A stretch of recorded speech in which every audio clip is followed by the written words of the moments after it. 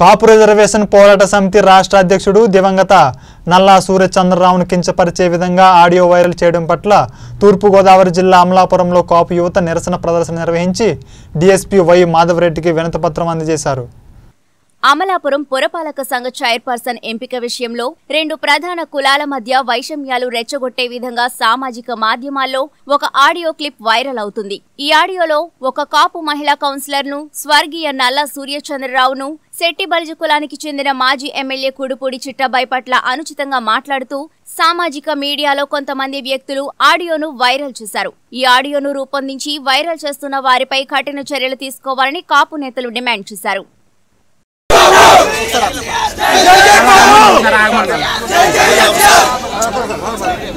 జరిగిన ఇష్యూ మీద లోపల డిఎస్పీ గారి కంప్లైంట్ ఇవ్వడం జరిగింది.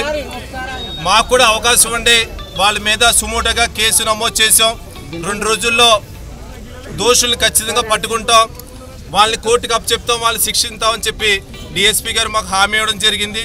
ఈ రెండు రోజుల సమయం కూడా మేము వేచి ఉంటాం. రెండు రోజులు గడిచిన తర్వాత అభిమానులు వాళ్ళ ఇష్టం ఏ ఎవరిని కూడా కంట్రోల్ చేసే పరిస్థితి కాదని చెప్పి కూడా మేము తెలియపరచడం జరిగింది.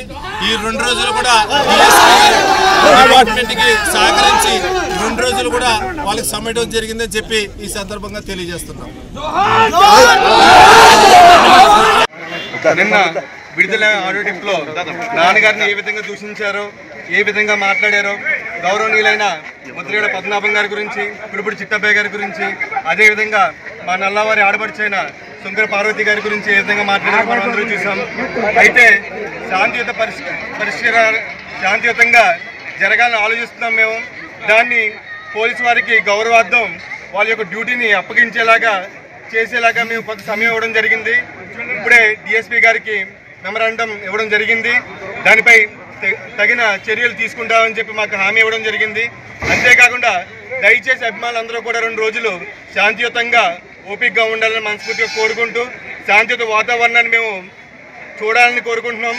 అదేవిధంగా వాళ్ళపై సరైన యాక్షన్ తీసుకోకపోతే దానిపై సరైన యాక్షన్ తీసుకోకపోతే అభిమానులు కంట్రోల్ చేసే శక్తి మా దగ్గర కూడా ఉండదని చెప్పి మీడియా ముఖంగా మీ అందరికీ